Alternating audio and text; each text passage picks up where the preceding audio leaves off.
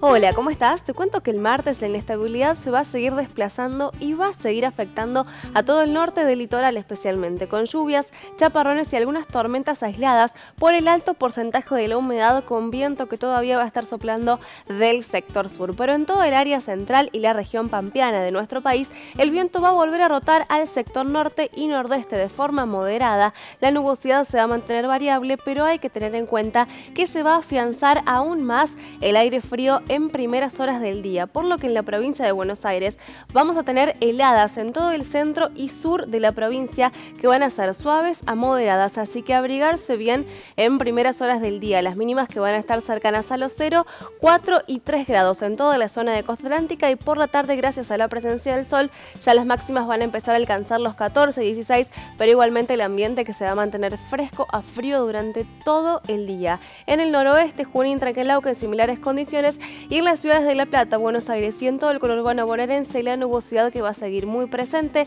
el cielo que va a estar entre parcialmente nublado a cubierto, la mínima que va a ser de 6, también frío en primeras horas del día y la máxima que por la tarde podría alcanzar los 16 grados. Ahora sí te recuerdo que para obtener más información podés ingresar a infoclima.com. Hasta la próxima, muchas gracias.